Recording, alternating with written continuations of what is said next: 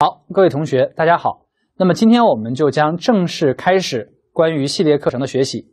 今天呢，是我们所有系列八次课程的第一次课程，就是关于我们的课程以及展示设计的底层逻辑。那么说到课程也好，展示也好，在我们实际的生活也好，在实际的工作场景，以及作为一个老师，你去准备课程当中，这是一个必备的环节。那么对于课程展示，可能平常我们更多的去关注。我们讲了什么？我们输出了什么？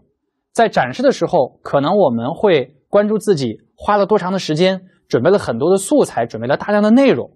而这些内容是不是真正的有效被听众所接收到了？是不是有效的真正被我们的所有的学生所能够真正的理解？那么这件事情其实是需要我们从课程以及展示设计的底层逻辑开始说起。那么相信我们在座的绝大多数的。同学应该都有成为学生的这样的一个经历。我们之前坐在台下听台上的老师给我们去讲课，和我们真正的站到讲台上去给学生去讲课，或者说给下面的人去做分享，这个感受是完全不同的。那接下来我们将会从四个不同的方面来带着大家一起去解构一下完整的一堂课程，它的底层设计逻辑应该是什么样子的。那么这四个方面分别是听讲、记忆、理解和训练。那么大家可以去回顾一下，我们在课堂上面，首先第一个需要去完成的就是听讲。老师讲的东西，我得首先能听进去。然后接下来听进去了之后，是不是能够去理解这个事儿？其实会因人而异。而好的老师能够更好的去降低学生理解知识的难度，能够让知识变得更加的通俗易懂。那么接下来我们也会给大家去分享，怎么样能够去做到这些。以及在理解的过程当中也是一样，可能有些人他对于知识的理解和普通的人相比会比较快一些，或者比较有天赋一些。但是有些人可能在理解过程当中就会比较费劲。那么在这个过程当中，如何能够做到更容易的去理解，以及将来我们需要通过设计一些训练的方式，能够让学生对于我们所讲的内容能够更好的去掌握，能够更好的去运用。所有的学习的最终极的目的。不仅仅是为了理解，更多的是为了把它应用到实际的场景当中去。所以在这里边，如果我们给这四个词去加一个限定或者修饰的话，那么这里边就会变成是如何能够做到让学生愿意听讲，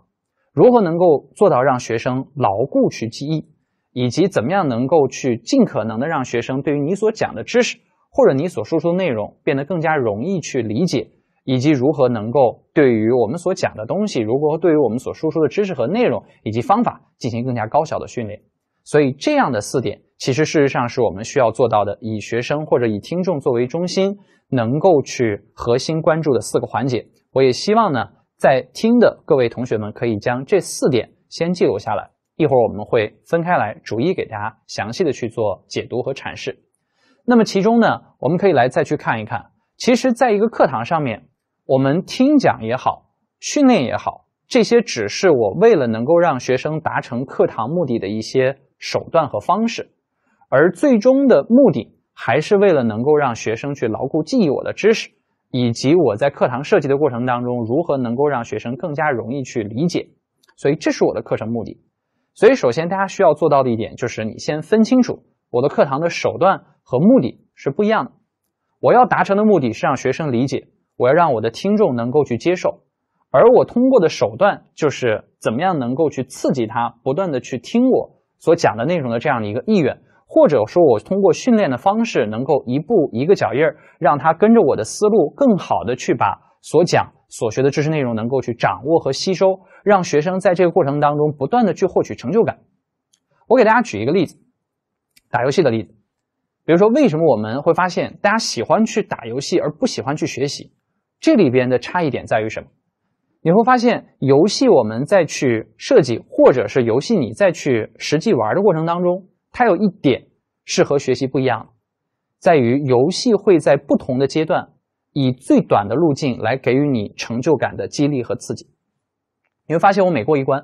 啊，会有特别炫酷的动画的效果，对吧？我每刷一个怪物，在这里边会有掉落金币，会掉落各种各样的装备，我可以去买装备，我可以让我升级。在这里边，我可以去不断的去强化我的大招，我去触发我的技能。在这里边，它会有通过各种各样的形式来给你刺激，来给你成就感，告诉你说，哎，你这个阶段的目的已经达成了。而其实事实上，学习在这个过程当中，之所以有大多数人会容易去放弃的核心原因，就在于可能我们对于这个最短逻辑的设计拉得太长了啊。学生他没有达到这种成就感之前，他可能就会放弃了。所以为什么有些老师讲的东西，学生不愿意去听？就是你没有及时的去给予学生一些反馈，或者通过简单短逻辑训练的方式，能够让学生更好的去知道，哎，我已经掌握这个信息了。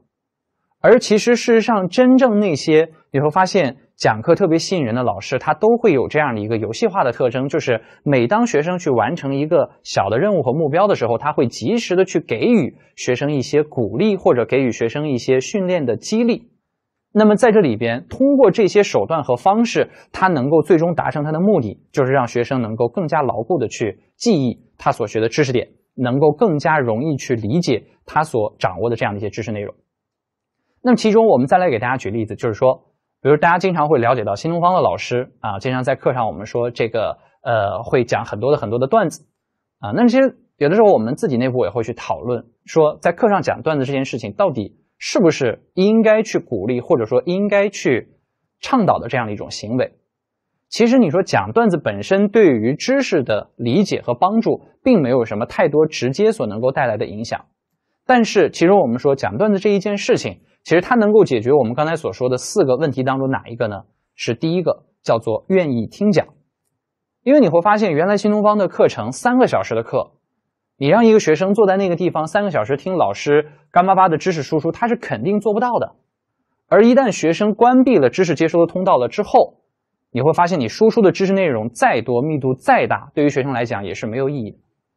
就像一个手机一样，你不开机是永远没有办法去接收到任何的信息的。你的信号源再强，你的 WiFi 再强大，我的手机是关闭的状态，那其实事实上于学生来讲是没有任何的意义的。所以在这个过程当中，我们自己会去想。讲段子只是一种手段和方式，它的目的是为了能够让学生更加愿意的去听讲，或者更加愿意的去理解和接受我们所讲的知识和内容。那么第二个，我们再来去讲牢固记忆。牢固记忆的话，在课上我们可以通过什么样的方式和手段？我还是举一个例子，比如说我们经常会去讲数学课的例子。大家其实现在啊，应该很多已经离我们的初中和高中生活已经非常非常遥远。但是你会发现，有一些我们所学过的东西会一直萦绕在你的脑海里边，挥之不去，或者能够让你一直印象非常的深刻。我举一个例子，比如说高中数学里边，我们曾经有学过一个东西，啊，在我们讲这个符号或者说象限的时候，经常会举一个这样的口诀，叫做“奇变偶不变，符号看象限”。这句话其实就是一句口诀，大家记忆非常的深刻。原因就在于，其实事实上，老师会通过编口诀的方式，能够让你更加牢固的去记住我们在所学习过程当中的一些知识点，包括有一些可能我们已经比较熟悉的顺口溜式的东西，比如像化学，可能有的时候我们这个经过了很长时间没有去接触过它，但是元素周期表的前二十个元素，你会发现一样是能背得下来的：氢氦锂铍硼、碳氮氧氟氖、钠镁铝硅磷、硫氯氩钾钙。这些东西为什么留在我们脑海里边，久久挥之不去的核心原因，就是我们平常在学习的过程当中，老师通过反复不断强化的方式，让我们深深的去记住了这样的一些知识和内容。所以，作为老师，如果你要想让学生对于你所讲的核心内容和核心思想方法有充分的了解和记忆的话，那么这个时候可以通过一些编口诀或者是编顺口溜的方式，能够去将你的知识点进一步的去浓缩，进一步去提炼。这样的话可以达到第二个目的，叫做牢固记忆。那么第三个容易理解，在这个过程当中也是一样。我给大家举一个真实课堂场景的例子。什么叫容易理解？我们讲的很多东西有的时候会非常的抽象啊，尤其是比如说我们当再去面向一些这个专业领域的知识和专业领域内容的时候，这些知识本来就很晦涩，晦涩的知识必须要通过形象而简单的例子。才能够降低它的理解成本和难度，进而让听众愿意去听，进而让听众能够更好的去理解。在数学里边，其实你会发现，本身它是一个非常抽象的科目，啊，数学里边大量的数字符号，包括我们高中学过的函数、公式、方程等等，这些其实都是一些抽象的逻辑表达。怎么样这些抽象的逻辑表达，它可以变得更加的形象、更加的具象化，能够让学生更加容易去理解。还是让我们再给大家举一个例子，也是我们真实上课的例子。在高中数学的高一里面，大家应该有学过一个概念，叫做集合。我们先有了集合的概念之后，才有映射，才有后面的函数。大家如果有印象的话，可以去想一想，我们对于函数的映射法则，其实是上会有两个大的集合的概念，啊，一个叫做原项，一个叫做项。那么在原项和项之间，我们说满足函数方程的映射关系里，会存在有一一映射，或者存在有多对一的映射，但不会存在有一对多的映射。我们可能会存在有有原像，但是没有像的情况，但是不会存在说啊有像但没有原像这样一种场景。所以你会发现这些概念很抽象，不好理解啊。什么叫一对一？什么叫一对多？对吧？什么叫做？原来的集合，什么叫做我映射之后的这些集合？这样两个概念，包括我集合里边的每一个元素，它的一一对应和多对一、一对多，到底哪个成立，哪个不成立？你让学生去死记硬背，他是记不住的。所以这个时候我们可以举例子啊，通过很好的方式来降低他理解的难度。我给大家举个例子，你可以一下就能够理解在集合和元素当中项与原项之间的对应关系。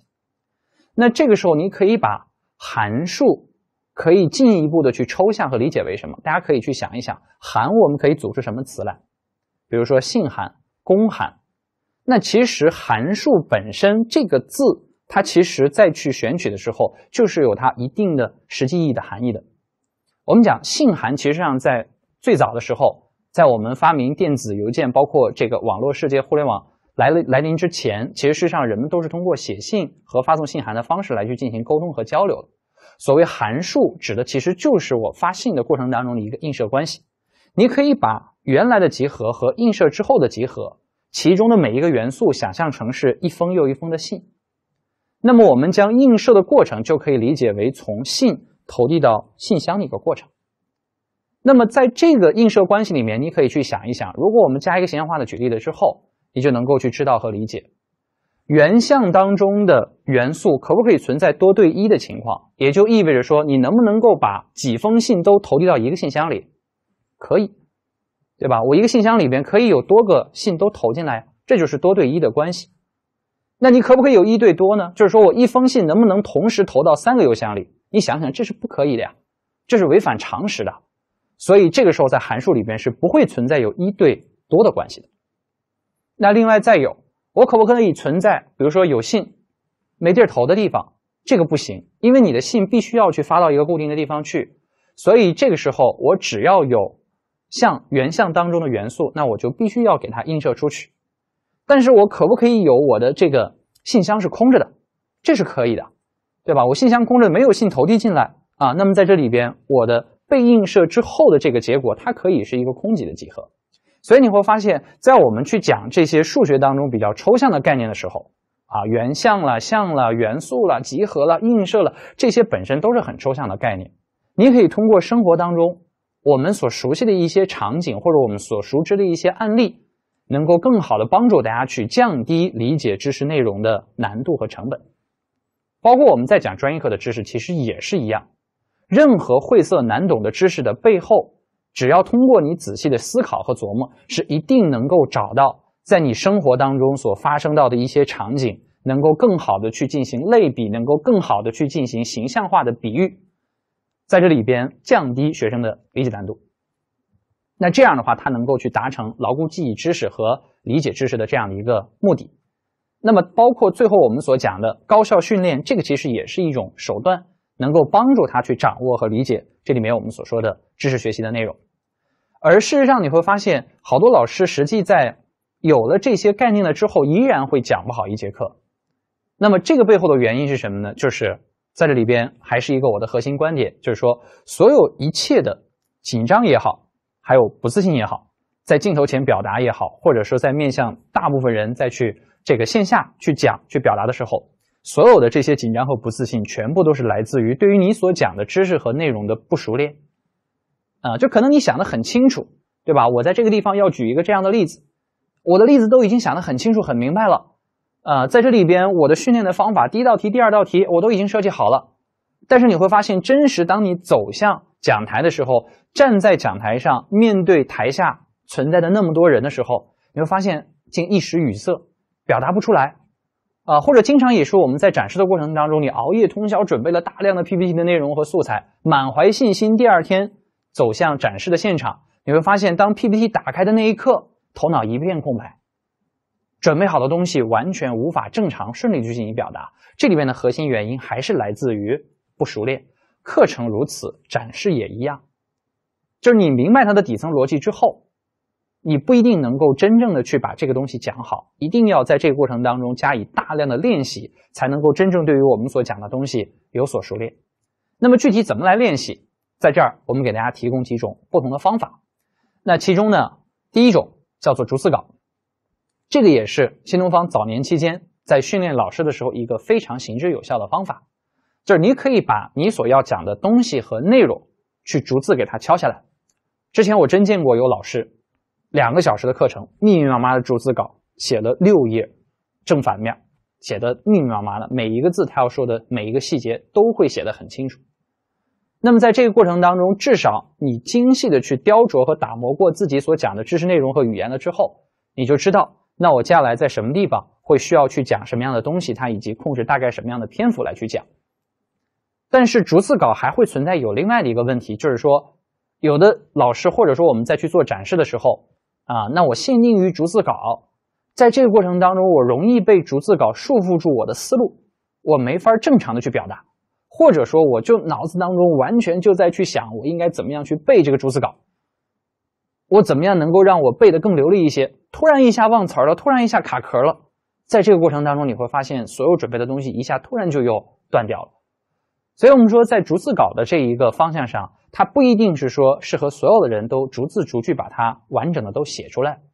那么在这个过程当中，有没有更好的替代的表达的方式？一定有。一会儿我们来给大家详细的去做展述。第二个叫做听录音。我们自己在讲完了内容之后，你可能觉得自己讲的很好，或者你可能讲的自己也不清楚到底好不好，怎么办呢？把自己讲的内容提前准备好了之后录下来，或者是。提前说的内容用录音的方式，现在也都很方便。你把它录下来，录完了之后自己来听。你作为讲述者和作为听众的时候，对于同样的一段内容，感受是完全不一样。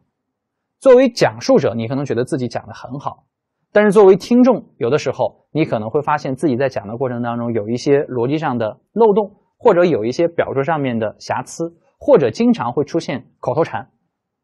比如经常有。这个我们的同事啊，在表达的过程当中，在展示的过程当中，会不停的去说，然后讲一段话啊，然后啊，然后然后然后然后，你会发现这个口头禅会很多，或者是有些人不善于表达的情况下，他由于自己的表达跟不上自己的思路，所以有的时候就会表达的过程当中出现卡壳的情况啊，呃呃，就经常会有这样的一些表达的方式，所以你会发现。真正你再去听自己录音的时候，会发现听到有大量的一些废话或者是无效信息，这是你需要去优化和需要去练习的地方。真正那些表达能力非常优秀的人，基本上你去听他的说话的录音，或者是你去听他讲课的内容，是没有什么太多的废话或没有什么没有用的字眼，那些口头禅基本上被砍得一干二净。原因是什么？没有经过大量的训练，这件事情是无法达到的。所以你必须有大量的在台上去讲，必须有在台上大量的去听的这样的一个经历了之后，你会才会发现自己在表达过程当中哪些地方是存在有漏洞或者存在有缺陷。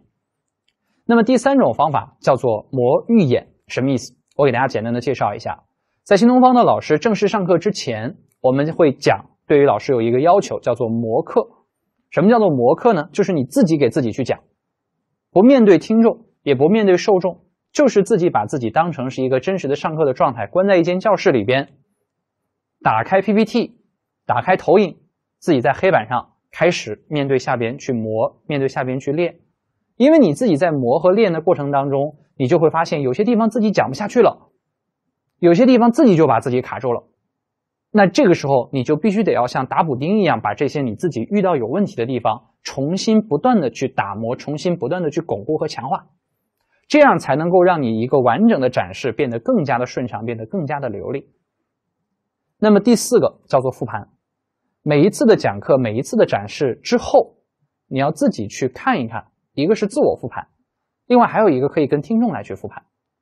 你可以让下边的学生来去看或者去评价一下，哎，老师这节课讲的内容有哪些地方没有听懂了？不是简单的去问说老师这节课讲的好不好？那学生肯定会碍于面子说老师你讲的很好。对吧？但是我们在这个过程当中，你可以通过学生对于这节课所学的知识和内容的一个掌握的情况，来复盘和反思一下自己的表达和自己在展示过程当中是否存在有问题。以及这个复盘不一定是发生在你讲完了之后，在讲的过程当中一样也可以复盘。比如我们在去做展示的时候，你面向你的上级去做展示，面向你的下级去做分享，那这个时候你可以看一下下边的人听众的状态啊。比如说你在讲的过程当中，你会发现下边的人已经几乎都不听了，大家都在低头玩手机。那这个时候证明你讲的内容可能没有什么吸引力，或者讲的这个东西大家觉得已经听过了。那或者你在听的过程当中会发现，哎，下面的人气氛状态很好，大家哄堂大笑。那这个时候证明你在这个地方的设计，或者你的这样的一个包袱也好、段子也好的设计是成功的，是精彩的。所以在这个过程当中，我们说把这四个方法，如果我们再来去优化一下的话，其中逐字稿可以逐渐进化变为大的框架。我在去做展示和表达的时候，我有一个主体的框架内容，我基本上几个点，一二三四。那我核心围绕这一二三四点来去展开做展阐述，去做展示就 OK 了。我不需要拘泥于每一个字、每一个词，它的表达是否和我之前写的逐字稿。如同一样的精准，但是我至少可以保证我的基本的思路是没有问题的，我的基本的框架是不会发生变化的，这样也会让你整体的表达看起来显得更加的有逻辑，看得会更加清晰一些。第二个呢，叫做听录音解决的问题就是口头禅，这个对于绝大多数没有任何经过训练的表达者来讲，口头禅是会经常出现的一个常见的问题。经常我们会说，然后这那啊。等等各种各样的口头禅的表示，你自己去听，自己去数，在这个过程当中就会不断的去发现自己在表达过程当中的问题。之前我们在新东方，大家一起老师之间互相 pick 的时候，经常我们自己会下赌注啊，比如听到这个老师的这个口头禅，那我们这个可以去大家互相之间猜一下这个老师接下来的表达一共会出现多少个然后啊，谁猜的准？那接下来对于这个老师的惩罚就是，比如说他说一个然后，我需要罚十块钱，谁猜的最准，这个钱就给谁。所以你会发现，通过这样的方式，我们可以训练，可以训练老师，让他逐渐的去减小自己口头禅的表达，一定对于自己要有一定的惩戒的措施哦，否则不然的话，就只是说啊，我可能这个表达过程当中存在这样的问题，如果没有人刻意的帮你去练习，或者是自己刻意的去纠正的话，这些事情是永远得不到解决的。所以在这里边需要去戒掉口头禅，让自己的表达变得更加的干净利索、言简意赅。那么再往下，磨预演核心就是要去控制时间，这块也是在很多我们的同事去做展示的过程当中会遇到有问题的地方。本来设定的展示时间十五分钟，好一讲超时了，十五分钟没等我开始，前面放了两页 PPT 自我介绍，哎，结束了，或者要不然就是另外一个极端。十五分钟 PPT，我讲了五分钟，谢谢大家，结束了。那这个时候的核心原因就是在于我对于我所讲的内容没有一个提前的把控或者提前的一个预演。如果作为老师来讲，这件事情是很可怕的。你作为老师必须要去非常清楚的了解你这堂课一共有多少的时间，